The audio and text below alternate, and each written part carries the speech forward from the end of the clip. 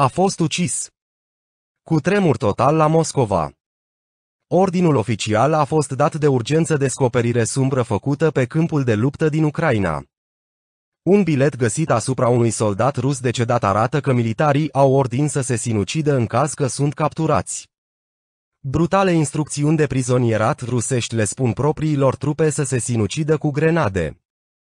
Un bilet găsit în uniforma unui soldat rus ce s-a sinucis oferă detalii foarte precise despre ce trebuie să facă militarii dacă forțele ucrainene sunt pe cale să te captureze. Soldaților ruși care se confruntă cu o potențială capturare în Ucraina li se spune să se arunce în aer cu o grenadă atunci când soldații ucraineni se apropie de ei. Descoperirea sumbră a fost postată pe Twitter de către un cont anonim. Acesta a postat o imagine a unui bilet găsit în interiorul uniformei unui soldat rus care tocmai se aruncase în aer pe câmpul de luptă. O înregistrare video îl arată pe acesta trăgând cu o armă, părând a fi singurul în interiorul unui tranșeu lung. El își dă seama apoi că o dronă ucraineană l-a văzut și decide să ia problema în propriile mâini. Ești prizonier. Când dinamicul se apropie, se scoate grenada și se trage cuiul. Puneți o grenadă sub vesta de corp sau prindeți-vă bărbia.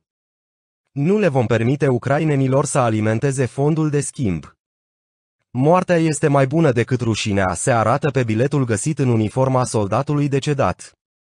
O persoană a contestat primul rând și a susținut că ar trebui să se citească de fapt, cum să eviți să fii capturat.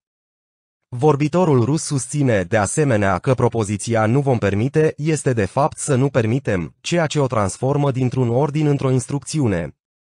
Videoclipul șocant de îngrozitor al ultimelor momente ale bărbatului arată de fapt corpul acestuia în mai multe bucăți după ce s-a aruncat în aer, potrivit Daily Star.